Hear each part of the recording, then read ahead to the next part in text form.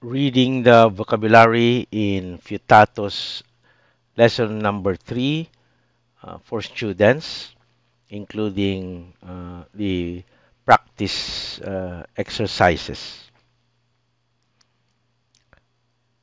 El, God, capital letter G or small letter G, God. Elohim, God or gods. Eretz, land or earth. Davar, word or matter. Yad, hand or metaphor uh, for power. Yom, day or time or lifetime. Milchama, battle or war. Melech, king. Malkut, reign or kingdom. Ir, city or town. Now, the practice reading Midbar, Yaktil, Negdo, Muktal, Mincha, Kotevim, Bereka, דברים, מזבחות, דרכים, קיטלו, מלכו, ספרו,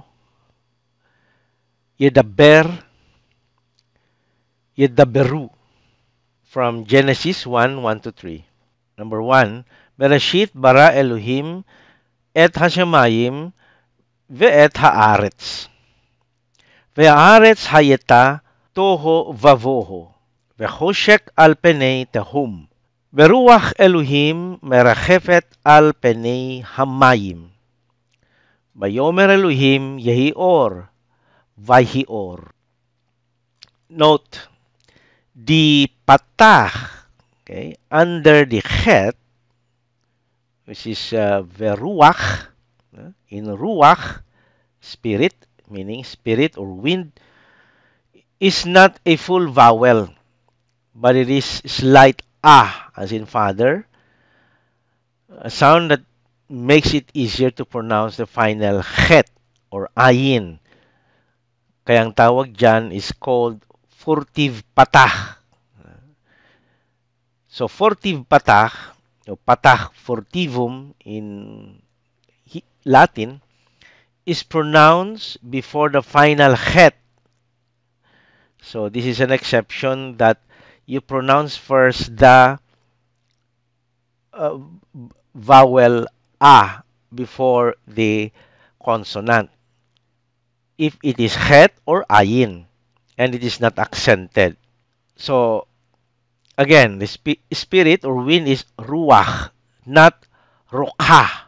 Not rukha, but ruach. Thank you.